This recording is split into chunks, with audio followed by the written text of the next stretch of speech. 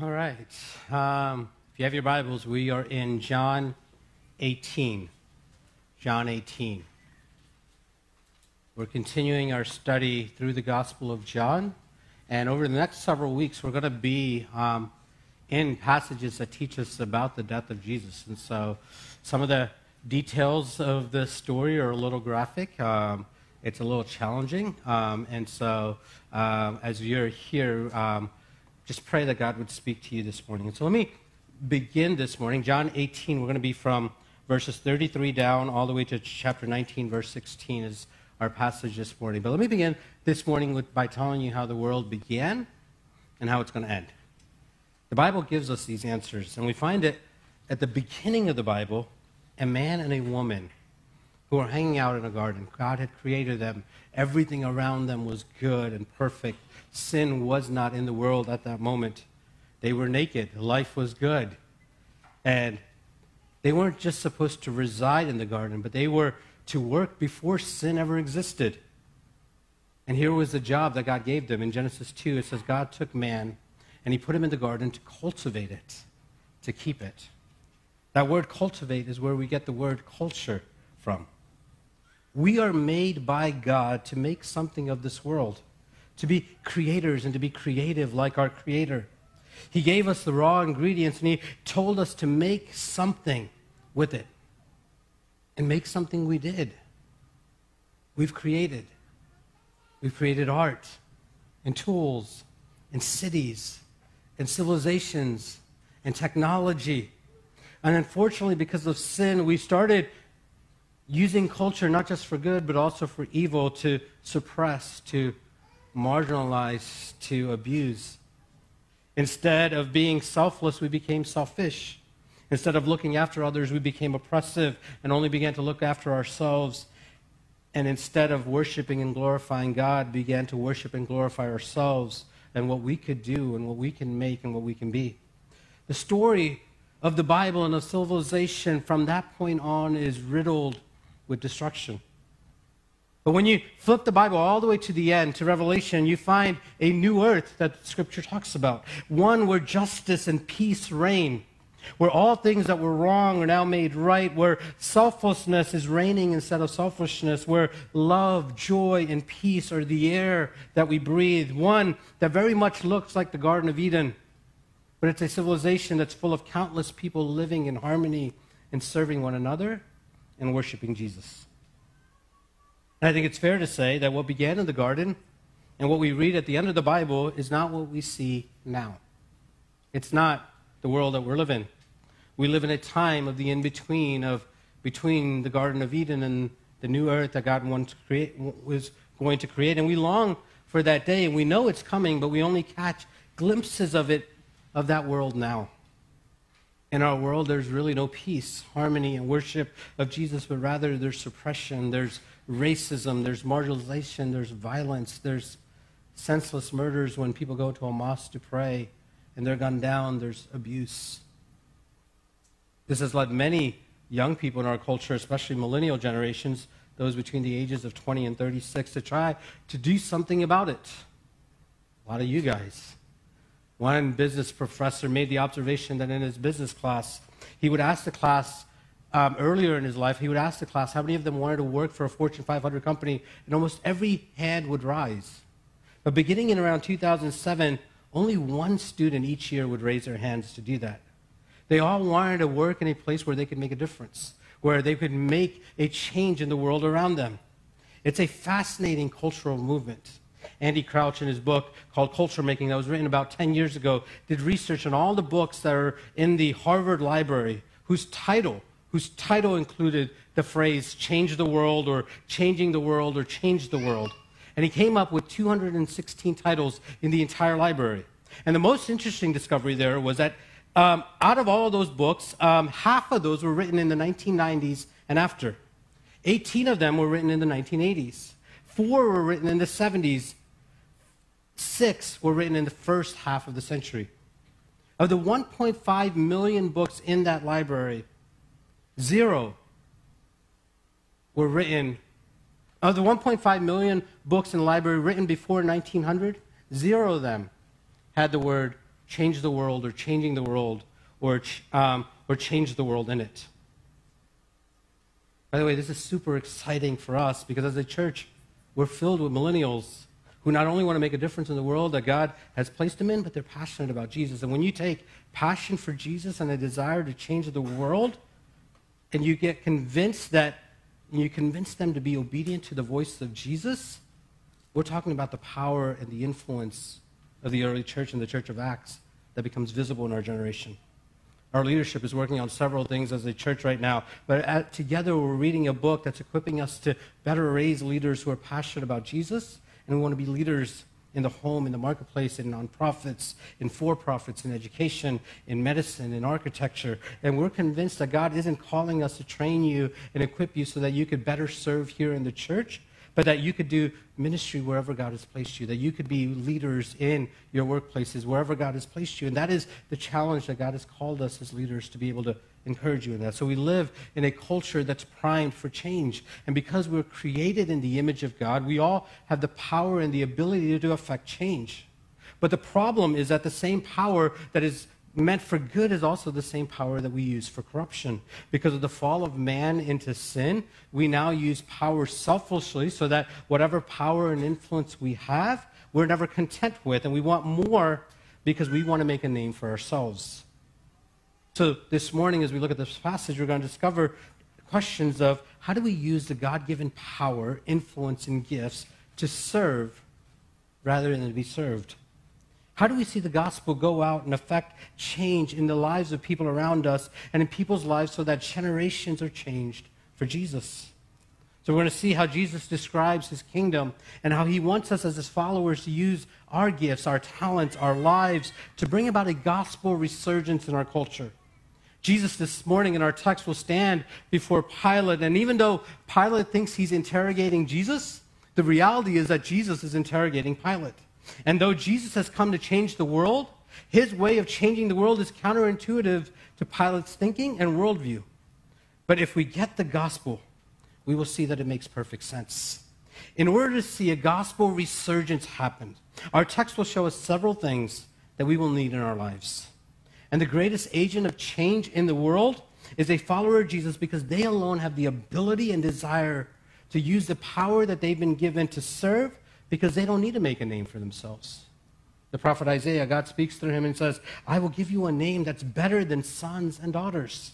I will give you an everlasting name that will not be cut off.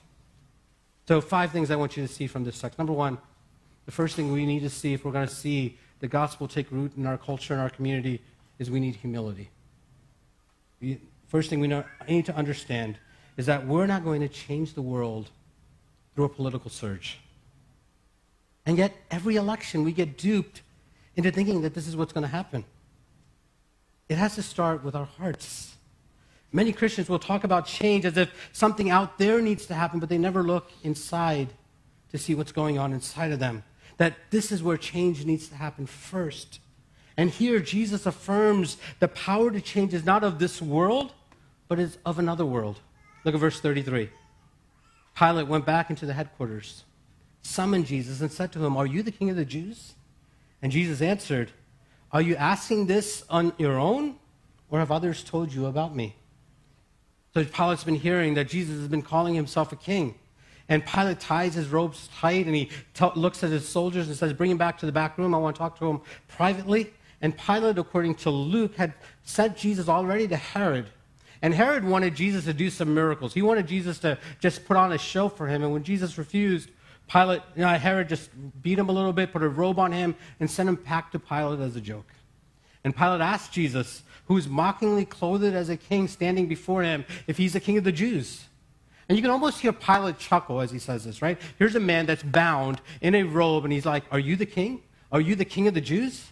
And Jesus responds with putting Pilate on trial. The underlying meaning of Pilate's question is that if he wants to know if Jesus is political leader and if he's trying to lead this coup to overtake Rome. Verse 35. I'm not a Jew, am I? Pilate answered. Your own nation and the chief priests handed you over to me. What have you done? My kingdom is not of this world, said Jesus. If my kingdom were of this world, my servants would fight so that I wouldn't be handed over to the Jews. As it is, my kingdom does not have its origin here. Pilate gets offended, like, do you think I know your customs? Do you think I know your culture? Do you think I know about all the silly rules and festivals that you have? I don't know any of these details. And he points to the mob that's out there that's yelling at Jesus to be crucified. He says, Look, your own people have brought you to me, and they want you dead. Your own community, your brothers, your sisters, they don't like you. They want you dead. What in the world have you done to make this community hate you so much? And Jesus' response is, Yes, I'm a king but not in the sense that it will ever threaten you or your power or Rome. I have power, but it's not a political power that will threaten your nation. I have a power that will change your world, but it will not be on a political stage. You see, the world attempts to preserve power and cause change be a force and violence, but Jesus' power and way of changing the world and reconciling people to himself is completely different. It's through humility, it's through service. Remember the words of Jesus, the Son of Man came not to be served, but to serve and to give his life as a ransom for many. Listen, brothers and sisters, as followers of Jesus, we don't take power and we don't seek to be served, but we serve and lead people to the one who changes their hearts and then will change lives and will change generations. And that takes great humility on our part because it's not about us and what we can do, but it's about Jesus. You know, Christianity has never thrived in the limelight. Just look at the difference between Christianity that's going on in China and Christianity that's happening in Europe. One suppressed Christianity, the other married Christianity. One used Christianity as a power to enforce change, the other went underground to serve and see subversive change. One used Christianity to make a name for itself, the other sought no name of itself. One has Christianity thriving, the other has churches that are now museums for us to walk through and visit. When the church gets in bed with politics, it loses its power. The church always thrives on the margins. It wasn't founded by a strong person who took power, but by a strong person who gave up his power. Listen, the kingdom of Jesus cannot be advanced in our culture through people who think they can enforce change through politics and procedures. It only happens through people who acknowledge that change must first happen within them and then use their power to serve and be subversive. My friends, if the gospel resurgence is going to take place in our communities, in our cities, in our neighborhoods, it has to take place, it has to begin in our own hearts at first until we embrace the deep truth in our soul that Jesus saved us not so that we can be served, but that so that we could serve and love and point people to Jesus, we will never see change happen in us or in our cities or in our communities, much less the world. The gospel doesn't tell us that Christ came into the world to save world changers, of whom we are the most important. The gospel tells us this Christ came into the world to save sinners, of whom I am the foremost. We need to be able to see our own sin first, own our percent of the problem, and in humility look inside and to then be able to serve others. First thing we need is humility. Second thing is we need truth. Look at verse 37. You're a king, then, Pilate asked. You say that I'm a king, Jesus replied. I was born for this, and I have come into the world for this, to testify to the truth. Everyone who is of the truth listens to my voice. Again, Jesus doesn't give an answer. He's like, yes, no, I am, uh, maybe. And Pilate's just stumped, right? I'm a king, but I'm unlike any king you've ever seen. I came to point people to the truth, and the truth will change everything. What is the truth? It's Jesus. Remember, he's already said these words I'm the way, the truth, the life. No man comes to the Father except by me. And Jesus here is going after the heart of Pilate. Here he is being questioned, being about to be sentenced, and he's still working at a person's heart, pointing, trying to point them to himself. He's telling Pilate that, listen, all of your political pride and all of your political power is not what you need. It's empty. It's unsatisfying. You need truth, which is Jesus. The sad thing is that political power and position not centered on Jesus will only bring about the opposite of what a person hopes for. Pilate needed Jesus more than anything else. Listen, if you are apart from Jesus today, Know that your desire for change in culture, which appears good on the surface, is really a cover up to fill the void in your heart for significance. You want truth, you want meaning, you want significance. You want to know that you matter, and so you gravitate toward influence and position and even nonprofit work to make a mark, to make a name for yourself. And this is why you will never really change culture for the good. Like Pilate, you will go with whatever is popular, whatever will keep your name good in the public's eye. In order to have influence, you have to stand for the truth, for what is right, not in arrogance, but in humility. But here's Pilate. He thinks he has all of this under control. He doesn't see that he needs, he needs Jesus. Look at verse 38. What is truth? Pilate asked. After he said this, he went out to the Jews again and told them, I find no grounds for charging this man. Pilate doesn't care about truth. He just wants to know if Jesus is a threat to his life and his position. He's pragmatic at best. Pilate is just like the rest of us. I'm my own authority. I'm the final say.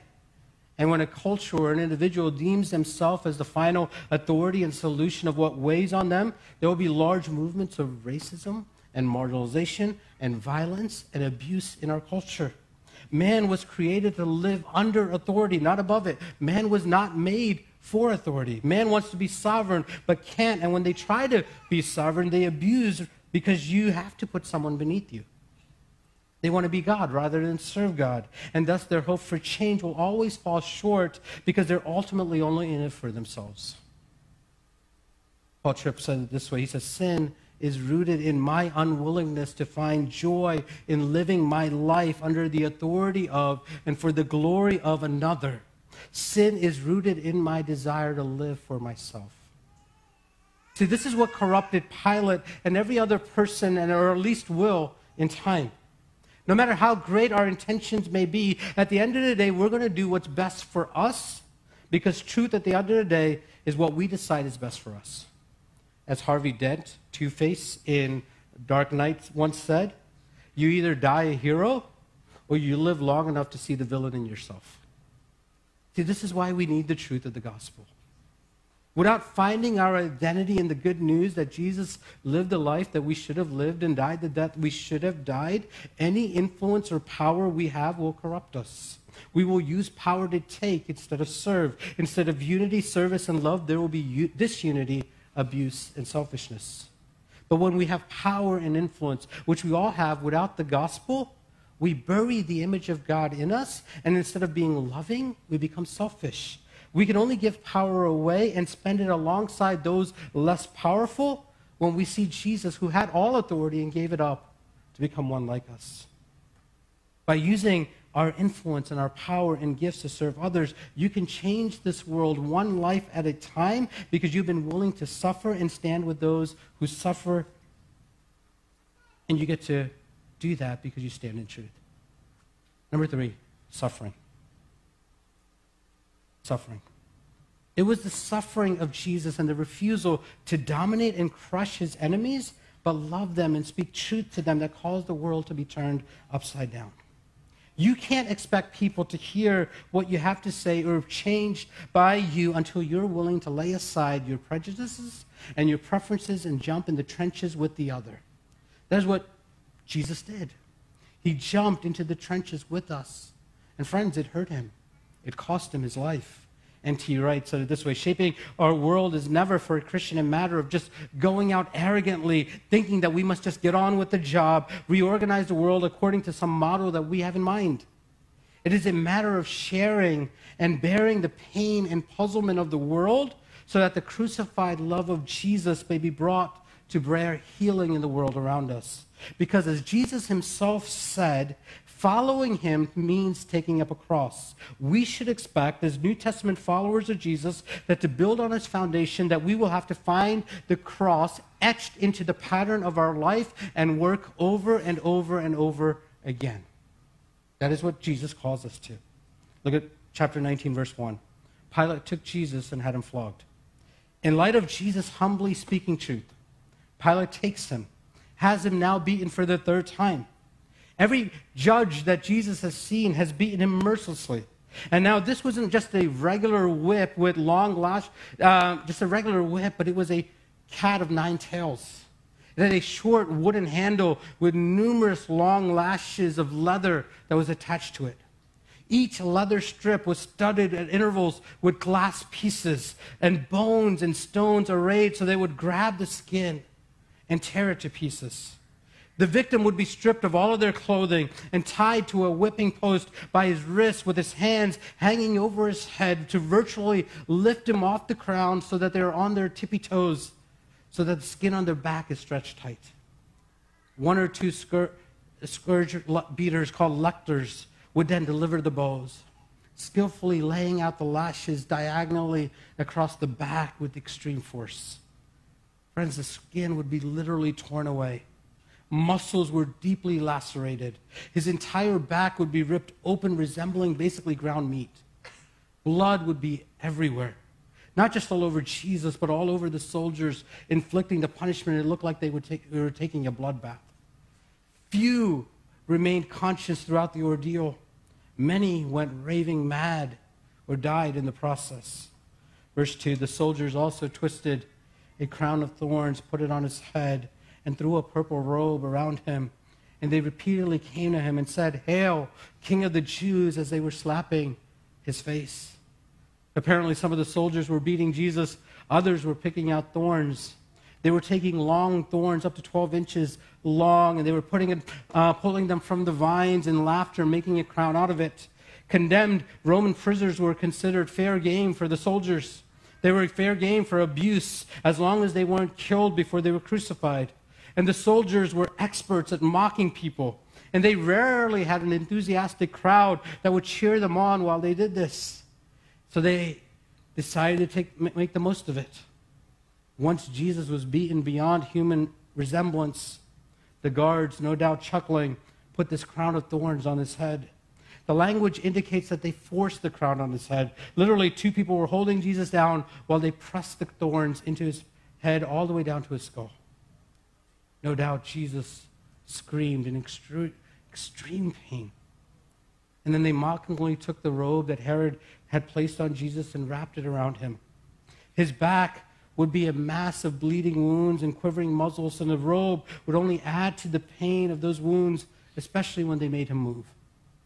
Other gospels say that they placed a reed in his hand. The reed represented a scepter for a king. One of them took the reed and, from his hand and used it to strike him repeatedly on his head. No doubt the reed served to push the thorns deeper and deeper into his head and probably causing increased blurred vision as it was pressed deeper into his skull. And then they began to come in front of Jesus and kneel before him and mock him and saying, Hail, King of the Jews. And after they would bow in mock reverence, scorning him, they would then haul back and punch him right in the face, a face soaked with blood because of the thorns. No doubt when they hit him, it was like a can of paint being dropped on the floor from a ladder as blood sprayed everywhere. Verse 4 Pilate went outside and said to him, Look, I'm bringing him outside to you to let you know I find no grounds for charging him. Then Jesus came out wearing a crown of thorns and a purple robe. And Pilate said to him, Here's the man.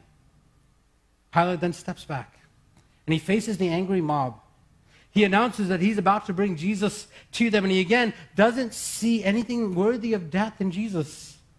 Pilate hopes against hope that the crowd would see Jesus just mangled up and feel sorry for him, or and say, All right, you don't have to crucify him. That's enough. And so he brings Jesus out, who's sarcastically dressed like a king. And Pilate announces, Listen, here's the man. He doesn't call him a king this time. It'll be translated, Poor man, this wretched creature. No doubt some in the crowd grew faint at the sight. Others threw up what they had for breakfast that morning. Others turned their head to the side, unable to set their eyes on what they looked at when they saw the image of Jesus walking in front of them. The soldiers had beat him till he was unrecognizable. The prophet Isaiah says it this way as many were astonished at you. Your appearance was marred beyond human semblance, and his form beyond that of the children of mankind. Look at verse 6 of John 19. The chief priests and the temple police saw him. They shouted, Crucify, crucify. Pilate responded, Take him and crucify him yourselves, because I find no grounds for charging him. Verse 7 We have a law, the Jews replied to him, and according to that law, he must die because he made himself the Son of God. And when Pilate heard this statement, he was more afraid than ever before. Pilate is terrified by all this. All of his plans to release Jesus have backfired. Pilate's passion for power and position have corrupted him so much that he cannot even take a stand against the people. His identity is wrapped up in being somebody important, so he can't go against the crowd and the people. He'd lose everything he has worked so hard for, and that's exactly why the crowds are upset with Jesus as well. Jesus is a threat to them because they will lose everything that they worked hard in their religion and self righteousness. Everyone in this scene stands to lose their identity if they side with Jesus because Jesus has to take center stage on their lives, not the backstage. Friends, we have to be prepared to suffer if we're going to see a gospel resurgence and see God's kingdom come to bear on people through us. And by suffering, I don't mean people mocking you for the gospel. By suffering, I mean going into places of suffering and injustice. We are called as the bride of Christ, as the body of Jesus, to go into places where there is the powerless, there's the weak, there's the broken. And we're called to use our power and influence and gifts as an in- investment into their lives. Change at the surface can be accomplished through programs, but change beneath the surface is going to take relationships. It's going to require more time, more energy, more money than one program will ever do. To the Apostle Paul, a gospel resurgent looked like barriers being broken down, people loving each other that didn't love each other before, relationships restored that were once damaged and unrepairable. Ephesians 2, Paul says it this way For Jesus himself is our peace who has made both groups into one and broke down the dividing barrier of the wall, so that in himself he might make the two become one man, thus establishing peace, and might reconcile them both to one body in God through the cross, so that no, you're no longer strangers and aliens, but you are fellow citizens with the saints, and you are part of God's house. See, this is the implication of us being justified by God. Being justified was never simply a, hey, now you're free to get out of jail and you don't have to go to hell. It opened the gates to freedom, to reconciliation, to wholeness inside and out. It puts you into contact with the outsider, the person who will make you feel uncomfortable. My friends, if the gospel has not caused you to suffer, if the gospel hasn't caused you to suffer in who you love, if it hasn't caused you to break down the barriers of friendship and relationships of those of a different tribe, of those of a different race, of those of a different age, of those of a different culture, of those of a different ethnicity, of those of a different social economic barrier, friends, and you don't, you haven't known the gospel. You really haven't gotten the gospel. If we want to see a gospel resurgence, we need humility, we need truth, we need suffering Number four, we need faith. We need faith. See, as we seek to see lives changed in the world, as we seek the gospel out and use our time, talents, and gifts and treasure to make Jesus known, we must retain our faith in a sovereign good God. This is a quick point, but it's an important point. The world is an ugly place at many times. It can be downright scary and feel overwhelming. Without a firm belief in the sovereign hand of God, we will cower away. We will, we will hide away and pitch a tent in the mountains and pray for the rapture to happen. But here we find Jesus affirming that all that's going to happen in this apparent power struggle, that, that he is still under control.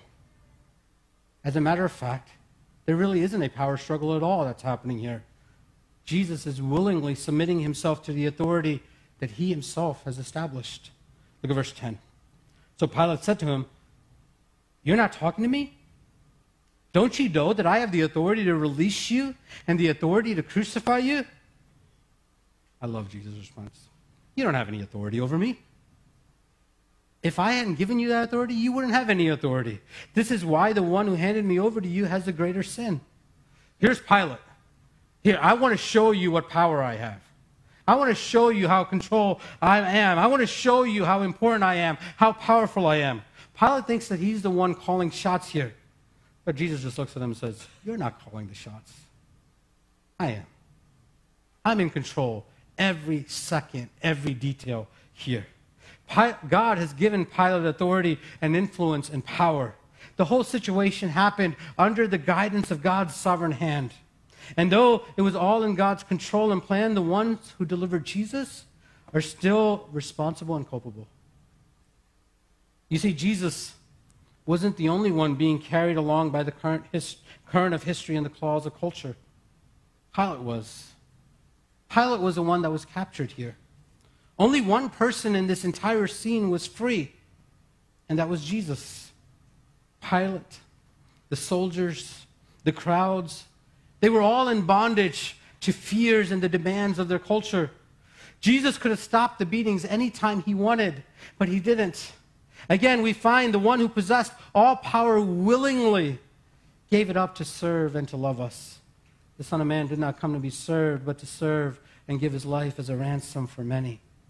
By not taking over the scene and subjecting himself to Pilate, Jesus is showing that the gospel will go forward, but also how, who will go forward with. The seeming powerless will become powerful. And see, this is what we see happen in the book of Acts. The gospel went forward through simple people who trusted in God's sovereignty and gave him the glory. You've heard me quote this verse before, Corinthians. Consider your calling, brothers. Not many of you were wise according to worldly standards. Not many of you were powerful. Not many of you were of noble birth. But God chose what is foolish in the world to shame the wise. God chose what is weak in the world to shame the strong. God chose what is low and despised in the world, even things that are not, to bring to nothing things that are, so that no human being might boast in the presence of God. We need humility. We need truth. We need faith. We need suffering. And finally, we need grace. For a gospel resurgence, a change to happen in our hearts and the hearts of those around us, will only happen when we come face to face with the grace of God.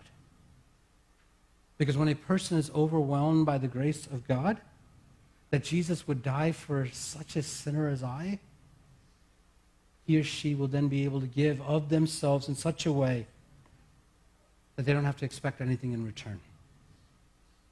As we're going to see, Pilate has been corrupted by power. His identity, his personhood, his significance is wrapped up in being somebody and making a name for himself. This is why he can't release Jesus. Jesus must die because Pilate's reputation and livelihood is riding on pleasing the crowds to keep his job. And thus, in this incident, we see a weak incident. We see a weak man who is concerned for his job and doesn't want the Jews complaining about him anymore. He wanted to do the right thing, but he doesn't have the courage to defy the Jews to do it. Pilate ultimately crucifies Jesus just to keep his job. He tried to put the responsibility on the Jews, said, You judge him. He tried to find a way of escape. He released another prisoner. He tried compromise. Hey, I'll just beat him a little bit. He tried reasoning. He goes in and out seven times with Jesus talking to him. And he even tried an emotional appeal by bringing Jesus' bloody body and bruise before the crowd, saying, Hey, just let him go. None of it worked. Look at verse 12. And from that moment, Pilate made every effort to release him. But then the Jews shouted, If you release this man, you're not Caesar's friend. Anyone who makes himself a king opposes Caesar. And when Pilate heard these words, he brought Jesus outside. He sat down on the judge's place, bench in a place called the stone pavement. So the crowd now puts Pilate in this bind. Pilate loves his power. He loves his position. He loves the authority that he has. He loves it so much that he's not willing to give it up. And once he realized he couldn't have he could have to either choose to release Jesus and lose his political position or crucify Jesus and keep his position. Think about Pilate for a second. Probably as a boy, he dreamed of being somebody someday. As a young man, he was no doubt enamored by the stories of Rome and the glory of Rome and all of its might. And then one day he became a soldier. He got a taste of what it was like to be a soldier in the Roman army. And yet he still longed for more success. Finally, he comes to the fabled city of Rome. It was breathtaking. The Forum, the Colosseum, the palaces, the technology, the women. He ached to ascend to power, to be a success. So he marries Claudia, the granddaughter of the Emperor Augustus. He would do anything to succeed. And finally, the small town boy from a little province of Spain becomes the governor of Judea. He made it. He reaches the heights, but it leaves him empty. He wanted to make a difference. He wanted to be remembered for something. He wanted to be a somebody, but he couldn't find it in position and power. This is every human being. This is you and I without Jesus. You and I have been created for greatness, but that greatness is not found by looking into a mirror or giving out orders or having people applaud you. It is found by looking at Jesus, who, out of greatness, laid aside ultimate power to die for you. It is being brought into that greatness by submission to Jesus and confession of inability that creates people who become world changers, and a gospel resurgence begins to take place. People who can freely give and serve because their identity and their name is wrapped up in Jesus' performance, not ours. And so it's over for Jesus. He's going to be taken and he's going to be crucified. I want you to notice something here. The Gospel of John says that Jesus' death sentence was announced from a stone pavement. Why would John include that little statement? I think John is going to show us here how the gospel is going to be spread. You know what that stone pavement was? It was a mosaic. It was a platform that was made by an artist who would take broken fragments and would put them together. A mosaic is where brokenness is made into something beautiful, where randomness is made into purpose, where disunity is made into unity and yet diversity which is held together in a beautiful tension. See, this is exactly what Jesus would do. He would take broken lives like you and I. You and I who try to find our identity in the world, but then discover the world would never give us joy and satisfaction. But now we find our identity in Jesus, and He would create this mosaic called the church a collection of broken people made whole by the cross who will move out with his gospel and proclaim it and serve in light of it, all because of his grace and by his grace. Friends, you and I, broken people, messed up people, Jesus brings us together. And he says, You and I together have within us by the grace of God to create a gospel resurgence in our city. That when we get the gospel and we understand what Jesus did, we begin to live in humility. We begin to stand for truth. We begin to go next to those who suffer. We get to live by faith. And we live it because we've seen the grace of God in our lives. If we get this, our city will be changed. If we get this, we will see people in our lives be changed. But when we move from humility is saying, oh, we need to have positions of power and authority, nothing happens. I think it's fitting that this is where we are as we celebrate eight, eight years as a church. That as a church, that if God is calling us to be in this city and for this city, that the only way we're going to make a difference in this city is if we live in humility. Even as a community, to say, hey, we're not better than anyone else. God didn't save us so that we could say, hey, come look at us. God redeemed us so that we could say, in humility, we will serve those around us. That as a church, that we would never compromise the truth of the gospel. That we would faithfully preach his word day in and day out. As a church, we will stand with those who suffer. That we would be a voice. Speak when people are hurting, when people are suffering, when injustice happens. That we don't say, oh, that's something politicians need to take care of. That we be a voice for those who are hurting. That we be a church of great faith in Jesus. That says, God, you are in control no matter how bad things look out there. No matter how ugly it is, God, you, this is your world. You've made it. You are in control. We will live by faith in Jesus. That if we would be people of grace, people will offer grace. That we wouldn't judge and condemn, but in grace we will point people to Jesus as we go to communion. Would you reflect on what you're living for? Are you living to make a name for yourself? Are you living for what you see in the mirror? Are you living for the applause of men? Are you willing to trust God's sovereign hand with your future, your tomorrow, your today? What about your time, your talents, your treasure? What about your God given power and influence? What about recognizing the places where God has placed you, your jobs, your schools, your families? Are you using all those things that God has given you to make much of Jesus? Or are you using it to serve or to be served? Are you willing to suffer alongside others, to empathize with them, and see the gospel go forward on your back? Have you placed your hope in kings and princes or politicians, in presidents or politics? Or do you need to come back to rest in Jesus?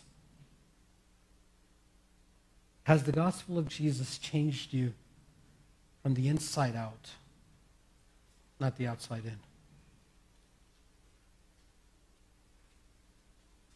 Father, this morning as we're here,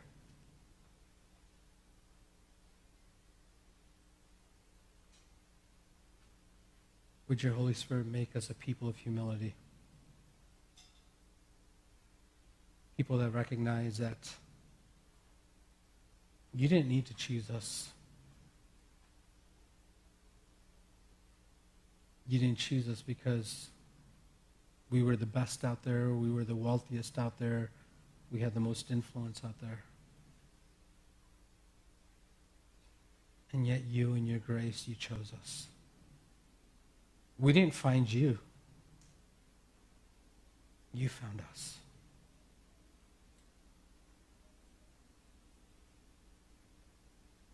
May we be humble people. Not one of arrogance that demands our way or our desires or what we want more than anything else. May we be individually and as a community known for humility. Father, maybe may we be people of truth people that find ways to keep pointing back to Jesus. In our conversations with those around us, with our loved ones, would you help us to find ways to point them to you? Because our man made solutions will never work. Jesus is the way, the truth, the life. Father, in a world of brokenness, would you allow us to we be people that come along those who are suffering, those who are hurting. Because this is what you did. You left the riches of heaven and you suffered for us. And Father, despite everything that goes on around us, despite all the brokenness, all the corruption, all the destruction, may we not despair or panic or grow weak and tired. But would you allow us to be people of faith? To trust, to say that it might be bad today, but God is still on his throne. And that God is in control of every detail, of every situation, of every circumstance. And that we trust that there will be a day where you will make all things right. And Father, finally, would you make us people of grace? The grace that has been given to us, would we allow us, would you give us the ability to extend that to others? May we be people who will find Jesus working in the lives of people around us and be gracious to people around us. Father, this is our prayer for us individually. This is our prayer for us as a church. That as we desire to see Jesus made much of in this city, may not be done by anything we do, but may it be done in submission to all the things that you desire. So, Father, be glorified through us, we pray. We thank you for Jesus. We love you.